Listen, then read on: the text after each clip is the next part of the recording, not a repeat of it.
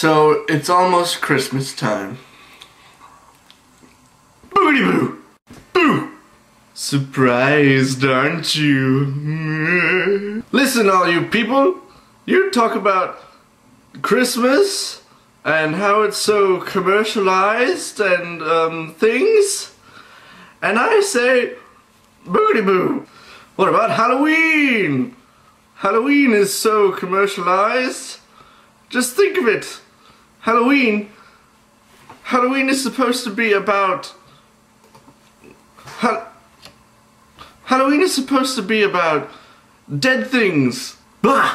There's like princesses and fairies and and like someone dresses up as your mom coming to the living and eating their food. It's all for profit. Selling costumes of of famous characters from movies and such. But Halloween's not about money, it's it's about spookiness. Let's be smart about this. mm, so yes, so there, mm, yes, mm.